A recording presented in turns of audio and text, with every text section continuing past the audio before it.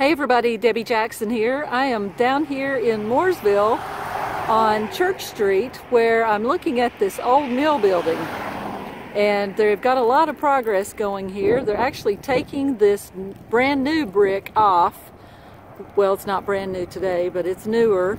And they're exposing the old brick. I don't know if you can see that. What they're going to do is they're going to revamp this whole building, make it into some offices, restaurants, that sort of thing and directly behind this building, there will be an amphitheater, a park. It's going to be awesome.